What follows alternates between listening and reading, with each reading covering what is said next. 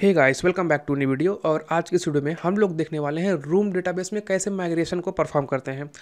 तो मेनली हमारे पास तीन तरीके होते हैं जिनकी हेल्प से हम लोग माइग्रेशन को परफॉर्म करते हैं। तो पहला होता है हमारा ऑटो माइग्रेशन सेकेंड होता है हमारा फॉल बैक डिस्ट्रक्टिव माइग्रेशन और थर्ड होता है हमारा जो कि हम एसक्यूएल एसक्यूएल क्वेरीज लिख कर अपने माइग्रेशन को परफॉर्म करते हैं। तो मेनली इन तीनों के ऊपर कुछ ना कुछ लिमिटेशन है। तो पहला जो हमारा ऑटो माइग्रेशन है, इसकी हेल्प से आप छोटे मोटे माइग्रेशन को कर सकते हो। कॉम्प्लेक्स माइग्रेशन आप इसकी हेल्प से नहीं कर सकते।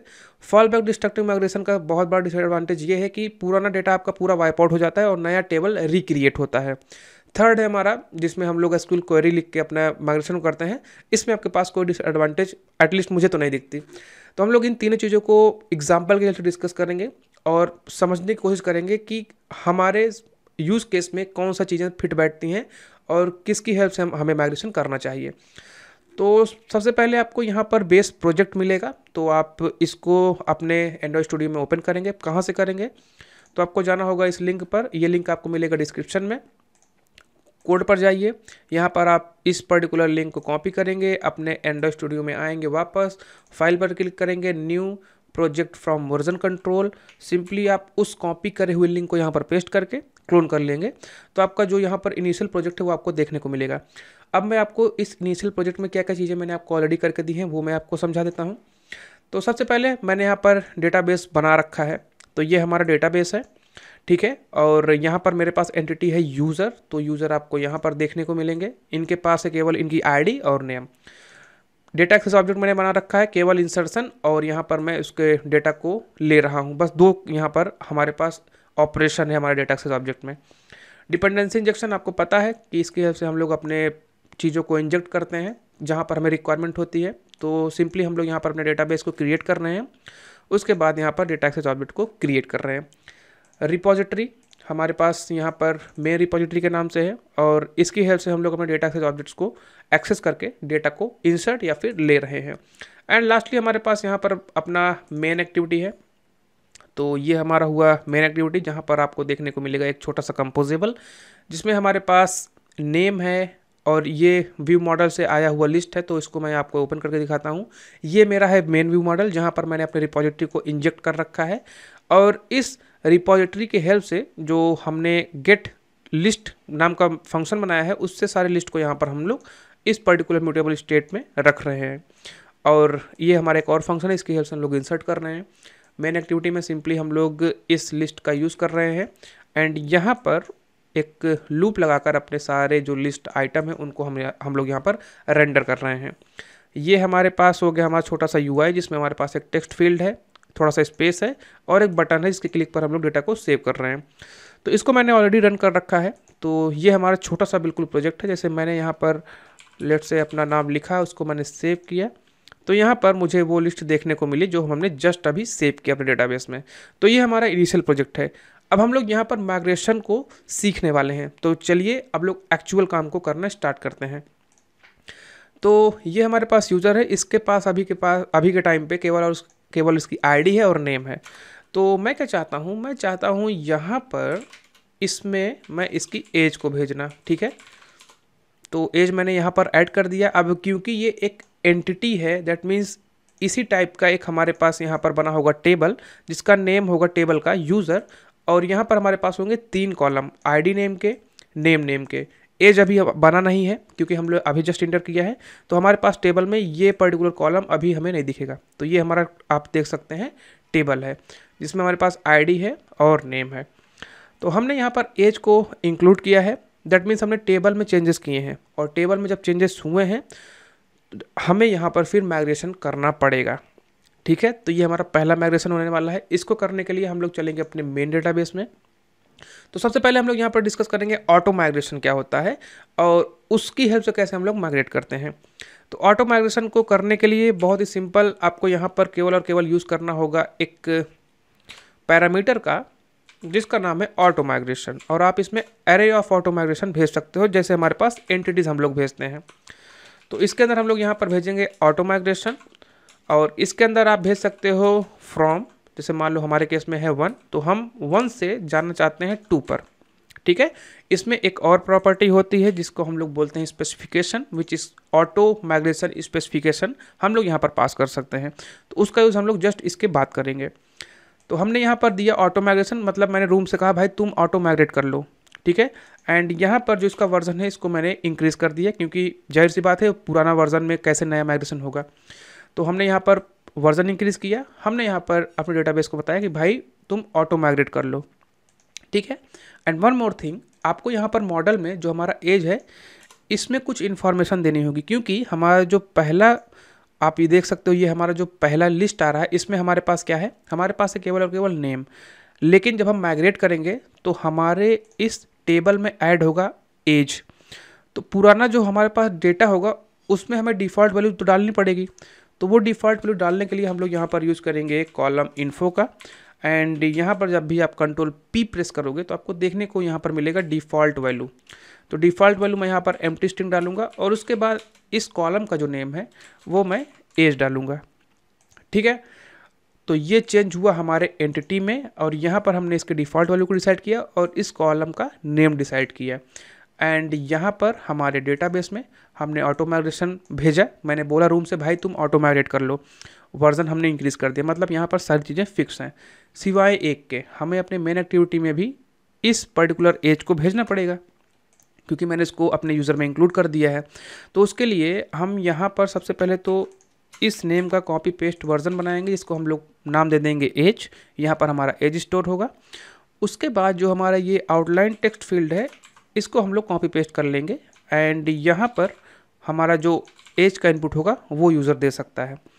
और लास्टली सिंपली हम अपने इस व्यू मॉडल के इंसर्ट यूज़र में हमारा जो एज है, उसका वैल्यू पास कर देंगे।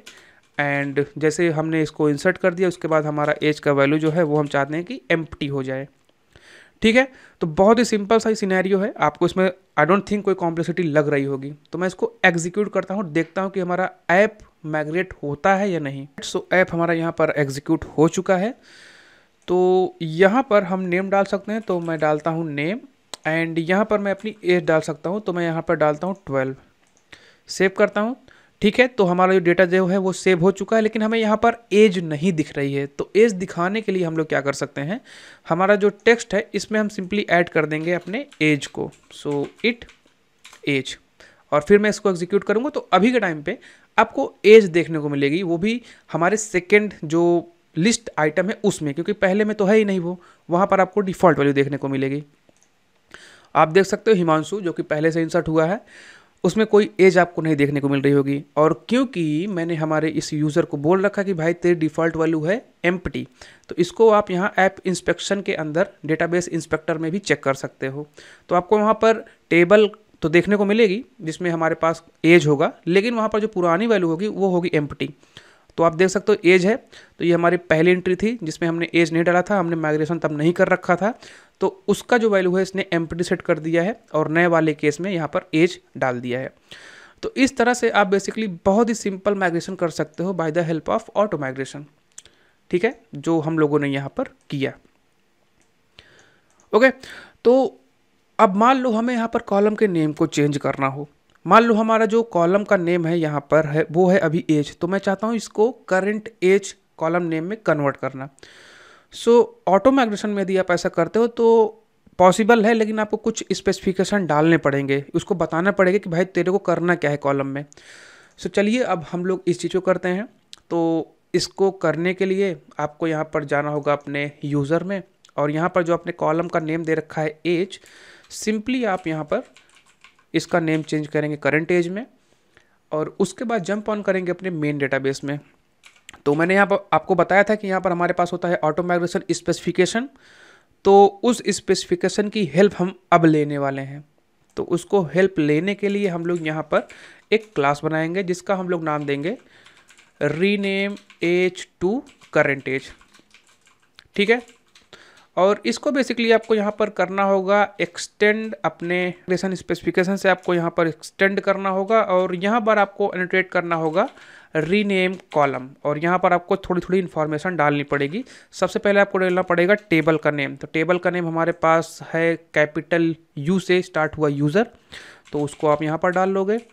उसके बाद आपको यहाँ पर देखने को मिलता है फ्रॉम कॉलम नेम मतलब पुराना क्या कॉलम नेम आपका था? तो वो था एज और आप नया क्या चाहते हो? तो मैं नया चाहता हूँ कि ये चेंज हो जाए करेंट एज में। तो आपने यहाँ पर कॉलम नेम चेंज किया तो ये भी एक तरह का माइग्रेशन है। तो इसको करने के लिए आपको यहाँ पर एक नया ऑटो माइग्रेशन भेजना पड़ेगा।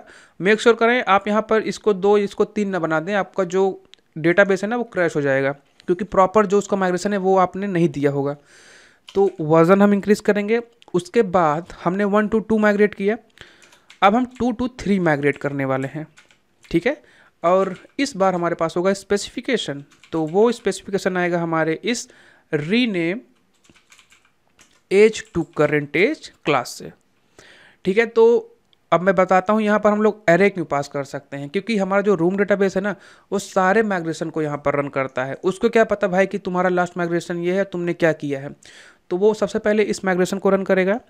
उसके बाद आपका ये सेकेंड माइग्रेशन रन होगा। तो इस वजह से आप यहाँ पर एक माइग्रेशन ना भेजें। आप यहाँ पर अपने पुराने को वैसे छोड़ें और एक नया माइग्रेशन बना लें, जिसमें आप एक्चुअली में स्पेसिफिकेशन को डालना चाहते हो। ठीक है? तो ये बहुत ही सिंपल सा चीज़ है। अब मैं एग्जीक्यूट करता हूँ और आपको ये दिखाने की कोशिश करता हूँ कि हमारा जो कॉलम का नेम है वो चेंज हुआ है या नहीं। तो हमारा ऐप यहाँ पर एग्जीक्यूट हो रहा है। तो हम लोग अपने ऐप इंस्पेक्शन में चलते हैं और हमारे डेटाबेस इंस्पेक्टर में ये चेक करते हैं कि हमारा जो कॉलम का नेम है वो चेंज हुआ है या नहीं। तो ये हमारा यूज़र है और आप देख सकते हो यहाँ पर एज था जो कि अब चेंज होकर हो चुका है करेंट एज ठीक है तो कुछ इस तरह से आप बेसिकली कॉलम को रीनेम कर सकते हो। अब हम लोग यहाँ पर ये देखेंगे कैसे हम लोग कॉलम को डिलीट कर सकते हैं। तो मैं क्या चाहता हूँ, मैं इस यूज़र में से इस एज को निकालना चाहता हूँ। ठीक है? एंड यहाँ पर जो भी हमारे पास, आप मेन एक्टिविटी में जो भी हमने चीज़ें की हुई हैं एज के रिगार्डिंग उसको मैं यहाँ से हटा दूँगा। ठीक है? तो यहाँ पर आप एज की वैल्यू भी नहीं भेजोगे क्योंकि वो चीज़ तो हट चुकी है। ऑल राइट सो या यहाँ पर हम लोगों ने अपनी चीज़ें कर ली हैं। अब हमें क्या करना है? हमें चलना है अपने डेटाबेस में। तो हमें यहाँ पर फिर से ऑटो माइग्रेशन का यूज़ करना होगा, लेकिन इस बारी हम लोग डिलीट करने वाले हैं कॉलम को।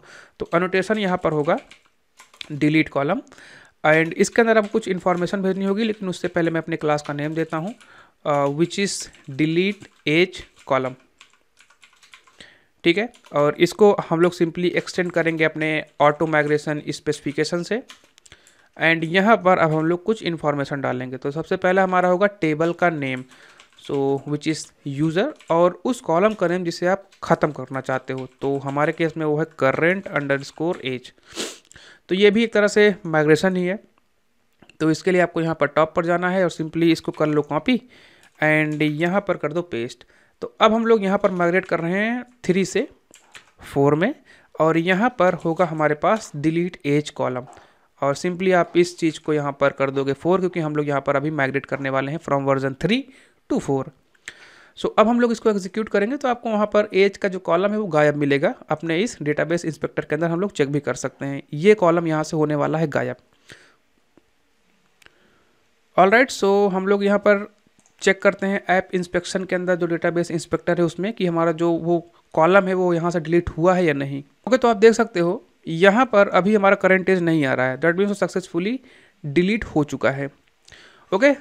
तो इन सारे केसेस में मतलब सिंपल जो आपके माइग्रेशन होते हैं ना, उनको आप बहुत ईजिली कर सकते हो by the help of auto migration ठीक है? तो ये हमारा केस हुआ ऑटो माइग्रेशन का, हम लोग कैसे यूज़ करते हैं और क्या क्या इसके थोड़े बहुत एडवांटेज हैं। एडवांटेज ये है कि ये बहुत ईजिली आप कर सकते हो। और इसका जो डिसएडवांटेज है वो ये है कि आप इससे कॉम्प्लेक्स ऑपरेशन को नहीं कर सकते। ठीक है? और अब हम लोग यहाँ पर बात करने वाले हैं फॉल बैक डिस्ट्रक्टिव माइग्रेशन के बारे में। अब हम लोग यहाँ पर देखने वाले हैं कि कैसे हम लोग फॉल बैक डिस्ट्रक्टिव माइग्रेशन की हेल्प से माइग्रेशन को परफॉर्म करते हैं।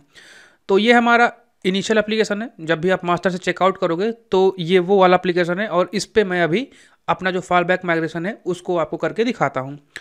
तो लेटर सपोज़ मैंने यहाँ पर हिमांशु नेम दिया, इसको सेव किया तो पुराना बिहेवियर आपको यहाँ पर देखने को मिल रहा है। तो मैं क्या चाहता हूँ? मैं चाहता हूँ हमारे यूज़र में एक एज आ जाए। तो उसके लिए हमें क्या करना होगा? हमें यहाँ पर एक वेरिएबल बनाना पड़ेगा एज नाम का। टाइप में इसका स्ट्रिंग देता हूँ। उसके बाद हमें यहाँ पर इसके कॉलम में इन्फो इन्फॉर्मेशन डालनी होगी। लाइक यदि आप इसका कॉलम नेम चेंज करना चाहते हो तो कर सकते हो। तो मैं यहाँ पर इसका जो नेम है वो उसके बाद आप इसकी यहाँ पर डिफ़ॉल्ट दे सकते हो। तो यहाँ पर मैं देता हूँ एम स्ट्रिंग ठीक है? तो ये चेंज हुआ हमारे एंटिटी में। ये हमारे रिफ्लेक्ट होगा टेबल में। दैट मीन्स हमें माइग्रेशन को करना पड़ेगा। तो चलेंगे अपने मेन डेटाबेस में। एंड यहाँ पर हम सिंपली इस वर्जन को दो करेंगे।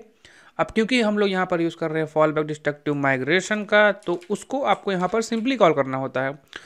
तो हमारे पास तीन ऑप्शन है। Fall back to destructive migration जो कि हम लोग यहाँ पर यूज़ करेंगे। इसके अलावा हमारे पास दो और चीज़ हैं। Fall back to destructive migration on downgrade तो इसका इस्तेमाल आप तब करोगे जब आप किसी स्पेसिफिक वर्जन से नीचे आ रहे हो और आप चाहते हो कि पूरा डेटा आपका या फिर पूरा टेबल आपका रिक्रिएट हो तो आप इसका यूज़ कर सकते हो। एग्ज़ाम्पल के तौर पे, मान लो आप यहाँ पर वर्जन टू हो और मैं वर्जन टू से वर्जन वन में जा रहा हूँ और मैं ये चाहता हूँ कि जितना टेबल अभी के टाइम पे नया हो, वो रिक्रिएट हो। मतलब पुराना डेटा पूरा वाइप आउट करो, नया टेबल रिक्रिएट करो। तो उसके लिए हम यूज़ करते हैं fall back to destructive migration from downgrade मतलब दो से वन में जाना। डिस्ट्रक्टिव माइग्रेशन फ्रॉम जो हमारा ये थर्ड ऑप्शन है, इसका यूज़ हम तब करते हैं जब हम चाहते हैं किसी स्पेसिफिक वर्जन में जब हम माइग्रेट करें तो हमारा जो टेबल है वो इंटायरली हटे, उसके बाद वो दोबारा रिक्रिएट हो। तो उसके लिए आप यूज़ करते हैं fall back to destructive migration from मतलब इन दोनों केस में ऑन डाउनग्रेड फ्रॉम इसमें आप बेसिकली वर्जन पास कर सकते हो। जिस वर्जन स्पेसिफिक आपको पूरा टेबल रिक्रिएट करना है, आप उसको यहाँ पर भेज दो, और जब भी यूज़र आपका उस वर्जन से अगले वर्जन पे माइग्रेट करेगा या फिर डाउनग्रेड करेगा तो उसका पूरा टेबल दोबारा रिक्रिएट होगा। तो हम यहाँ पर यूज़ करेंगे fall back to destructive migration का। तो ये जब भी आप वर्जन इंक्रीज करोगे ना तो हर बार ही आपका जो टेबल है वो नया क्रिएट करेगा। ठीक है? तो सिंपली मैं अपने मेन एक्टिविटी में जाता हूँ और यहाँ पर अभी मुझे अपने इस यूज़र के इंसर्ट वाले फ़ंक्शन के अंदर जो मैंने यूज़र पास किया है, इसमें हमें एज डालनी होगी। तो सिंपली मैं इसको यहाँ से कर लेता हूँ कॉपी यहाँ पर करता हूँ पेस्ट ये हो गया हमारा एज एंड इसको मैं यहाँ पर भेज देता हूँ। एज की वैल्यू मैंने यहाँ पर भेज दी, और मुझे यहाँ पर एक टेक्स्ट फ़ील्ड बनाना होगा जिसमें मैं अपने एज का इनपुट लूँगा। तो यहाँ पर मैं एज यूज़ कर लूँगा एंड जैसे हमारा ये बटन पर क्लिक होगा तो इंसर्ट करने के बाद हमारा जो एज का वैल्यू है, उसको मैं यहाँ पर एम टिस्टिंग से सेट कर दूँगा। ठीक है? तो इसको एग्जीक्यूट करते हैं। लेकिन उससे पहले मैं आपको यहाँ पर एमुलेटर दिखाता हूँ। हमारे पास ऑलरेडी एक डेटा यहाँ पर आपको देखने को मिल रहा होगा। तो रन करके देखते हैं कि इसमें क्या डिसएडवांटेज जो मैंने आपको शुरू में बता रखा था। ऑल राइट ऐप हमारा यहाँ पर एग्जीक्यूट हो चुका है। तो आई थिंक आपको आइडिया हो चुका होगा कि क्या यहाँ पर डिसएडवांटेज है। डिसएडवांटेज ये है कि आपका पुराना डेटा यहाँ से पूरा हट चुका है। अब आपका जो टेबल है, ये बिल्कुल नया रिक्रिएट हुआ है। तो आपका जो पुराना इन्फॉर्मेशन है, वो बिल्कुल ही डिस्ट्रॉय हो चुका है। तो ये इसका एक मेजर डिसएडवांटेज है और इसकी वजह से मोस्टली केसेस में हम लोग इसका यूज़ करते ही नहीं हैं। तो यूज़र के अंदर आप देख सकते हो हमारे पास कुछ भी नहीं है। हाँ जो हमने यहाँ पर कॉलम ऐड किया था, वो हमें यहाँ पर अभी दिख रहा है। तो हम सिंपली यहाँ पर कुछ इंसर्ट करते हैं। हिमांशु, यहाँ पर मैंने एज डाली है ट्वेल्व और सिंपली मैं इसको सेव कर दूँगा तो आपको ये देखने को मिल रहा होगा। वन हिमांशु मतलब आईडी और उसके अगेंस्ट हमारा नेम हिमांशु। और यहाँ पर अभी मैं इसको रिफ्रेश करूँगा तो आपको देखने को मिलेगा। I D one name Himanshu और यहाँ पर एज भी हमारे पास आ चुकी है। टेक्स्ट पर हमें विजिबल इसलिए नहीं है क्योंकि हमने यहाँ पर उसको दिखाया नहीं है। ओके तो कुछ इस तरीके से आप फॉल बैक डिस्ट्रक्टिव माइग्रेशन का यूज़ कर सकते हो। तो हम लोग बात करने वाले हैं, जो हम लोग एसक्यूएल क्वेरी लिख के माइग्रेशन करते हैं, उसके बारे में। तो सबसे पहले आपको यहाँ पर मास्टर ब्रांच से चेकआउट करना होगा और आपको एग्जीक्यूट करना होगा।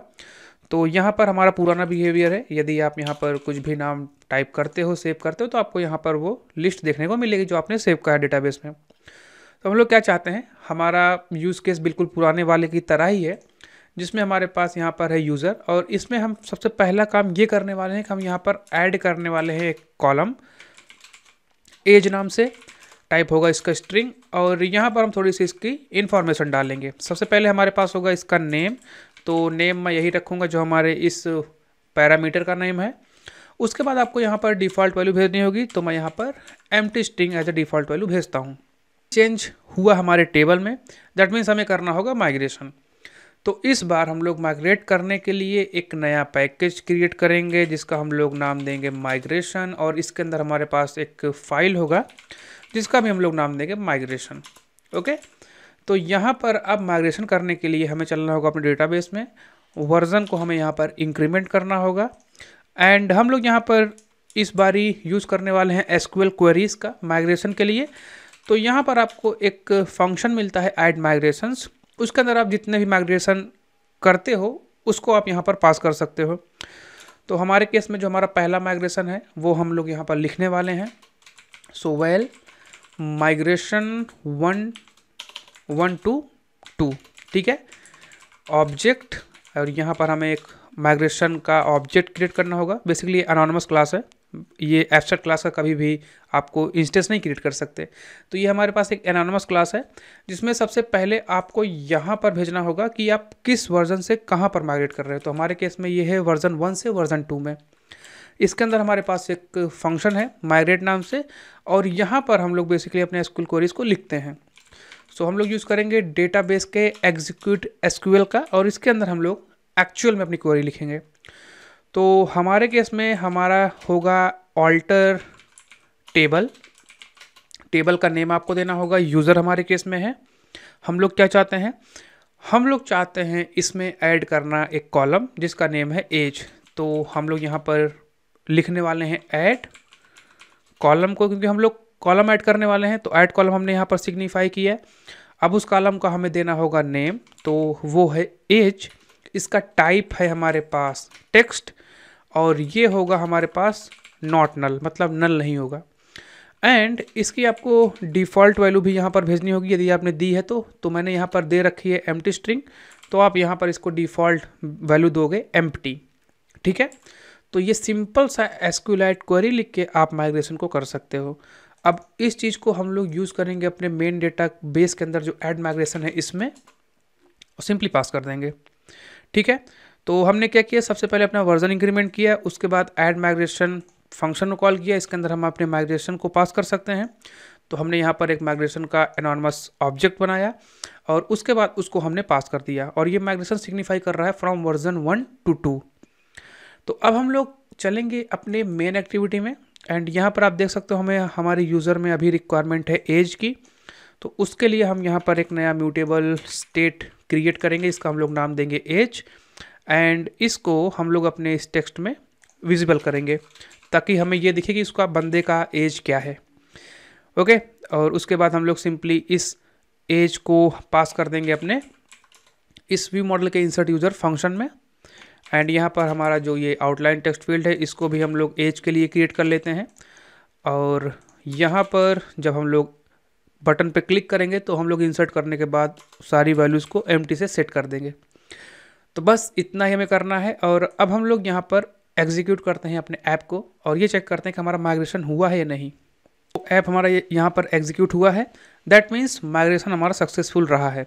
तो हम यहाँ पर ऐप इंस्पेक्शन को ओपन करेंगे। इसमें हमारे पास होगा डेटा इंस्पेक्टर तो उसमें हम लोग देखेंगे हमारा जो कॉलम है एज वो ऐड हुआ है या नहीं। सो so, यूज़र के अंदर आप देख सकते हो यहाँ पर हमारा एज ऐड हो चुका है। एंड इसका जो डिफ़ॉल्ट वैल्यू मतलब जो पुराने हमारे डेटा थे उनमें एम स्टिंग से इनिशलाइज कर चुका है उन सारे वैल्यूज़ को। तो so, सिंपली हम लोग यहाँ पर कुछ टाइप करेंगे। लेटर सपोज़ मैं यहाँ पर रैम टाइप करता हूँ और यहाँ पर ट्वेल्व एज देता हूँ सेव करता हूँ। तो आप देख सकते हो यहाँ पर हमारे पास राम नेम है। प्लस उसका एज भी हमें यहाँ पर विजिबल है। ठीक है तो कुछ इस तरह से आप नए कॉलम को ऐड कर सकते हो। अब सेकेंड केस में मैं क्या चाहता हूँ, हमारा जो मॉडल में यूज़र है, इसके मैं इस कॉलम नेम को चेंज करना चाहता हूँ करेंट अंडर स्कोरेज में। तो इसको कैसे करेंगे? सबसे पहला काम आपको यहाँ पर मेन डेटाबेस में जाना है वर्जन को इंक्रीज़ करना है, उसके बाद यहाँ पर एक नया माइग्रेशन लिखना है। तो चलेंगे अपने इस फ़ाइल में माइग्रेशन फ़ाइल में, और यहाँ पर सिंपली से कॉपी पेस्ट कर लेंगे, और इस बार ये सिग्निफाई कर रहा है टू टू थ्री माइग्रेशन और यहाँ पर आपको भेजना होगा टू टू थ्री एंड यहाँ पर जो आपको क्वेरी होने वाली है, वो कुछ इस तरह से होगी. ऑल्टर टेबल यूज़र और इस बार हम लोग कॉलम को ऐड नहीं करेंगे. हम लोग यहाँ पर बेसिकली यूज़ करेंगे रीनेम का. तो रीनेम कॉलम एज मतलब ये हमारी पुरानी कॉलम है, जो कि एज थी इसको हम लोग अभी चेंज करके करने वाले हैं करेंट अंडर स्कोरेज तो ये हुआ माइग्रेशन टू टू थ्री इसको कॉपी कर लो मेन डेटाबेस में चलो सिंपली यहाँ पर पेस्ट कर दो और यहाँ पर आप इसको इंपोर्ट कर लो। तो बस आपको इतना करना है और मेक श्योर करें आपने अपने यूज़र में जो इसका कॉलम का नेम है, इसको भी चेंज कर रखा हो। तो बस इतना करने के बाद आप इसको एग्जीक्यूट करोगे तो इस बारी आपका जो कॉलम का नेम है एज वो कन्वर्ट हो जाएगा करेंट एज में। ऑलराइट सो आप देख सकते हो, हमारा जो टेबल है, इसमें हमारा जो एज कॉलम था, वो अभी करेंट एज में कन्वर्ट हो चुका है।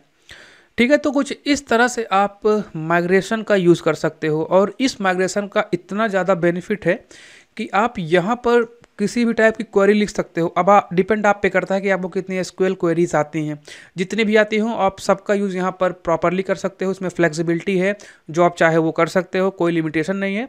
इसलिए सबसे बेस्ट अप्रोच जो कंपनीज़ फॉलो करती हैं, वो यही करती हैं। वो अपना माइग्रेशन खुद से लिखती हैं।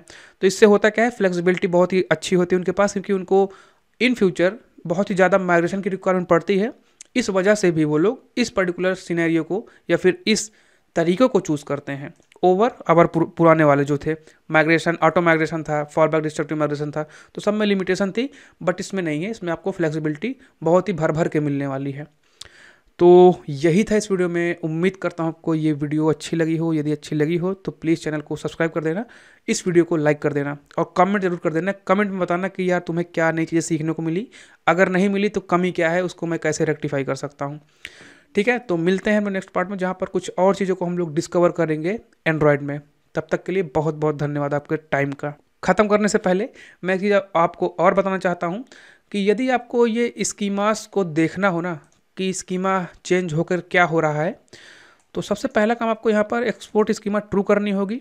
उसके बाद आपको यहाँ पर बिल डॉट ग्रेल में, जो कि मैंने ऑलरेडी करके दिया है, आप इसको देख सकते हो पुराने वाले केसेस में भी।